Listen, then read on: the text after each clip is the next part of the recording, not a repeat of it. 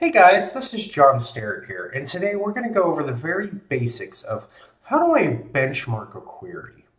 So when we think of benchmarking a query, we want to think of attributes that will allow us to classify a query as maybe sluggish, all right, fast, and ways to do this could be based off of different metrics. So typically what we'll end up focusing on is three different metrics for how a query is running.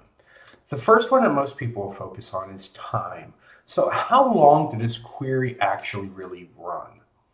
So you might use a stopwatch, um, but we're going to actually show you how you could do this internally here as part of your benchmarking process. The next thing that you may think about is CPU, right? Is my CPU taxed? How many CPU cycles are we actually going through and using here? And the next one here would be I.O. So how much IO is being consumed, IO being pages read logically. So are we thinking of pages being read and being consumed as part of a scan or seek operator to actually go fetch and get your data? So with that, we're going to go ahead and start the process of benchmarking a query here. So I'm going to use this copy of AdventureWorks that we have here. And I'm going to run our set statistics IO in time and set this on because this will allow us then to get metrics for how much I.O. is consumed by table in our query, but then also how much time, whether it was CPU or actually duration of the query running. The next thing I'll do for benchmarking here is make sure I turn on my actual execution plan. We won't go into a lot of details in this video about this, but this will allow us to see the plan that is used to go ahead and fetch and get that data for us here.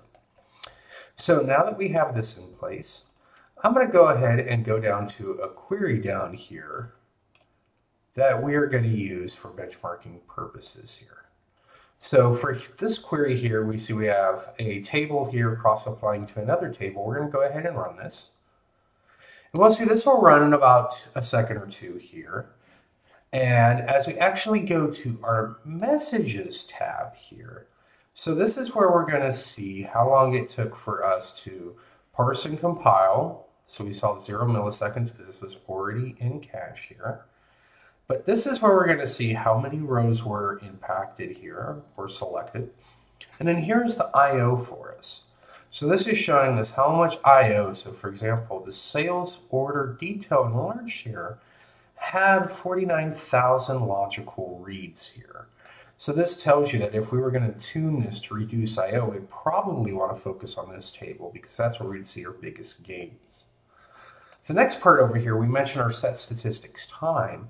You're going to see here exactly how much CPU was consumed, and then how, how much duration here was consumed for that query as well. So this is how long the total query took. So the first thing you're going to notice here is that the CPU time is higher than the duration time. And you might be wondering, well, how is that possible? Well, Let's go look at the execution plan.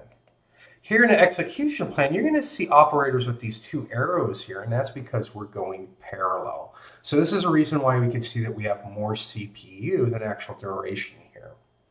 So basically what we covered in this quick video, we went over a couple of things. One, how can you actually benchmark with their, whether it's I.O., CPU duration, and how we can also look at the execution of that plan.